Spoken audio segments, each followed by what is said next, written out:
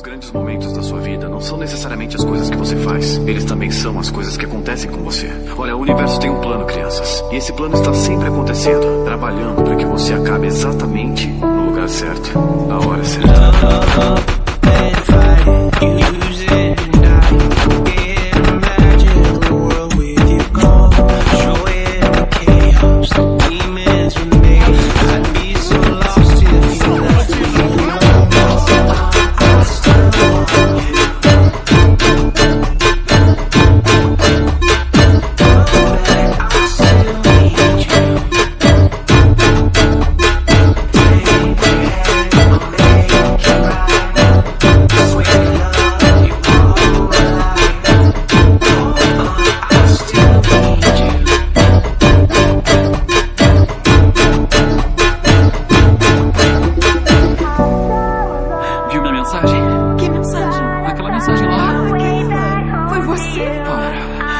Sabe o que estava escrito? Estava escrito eu te amo.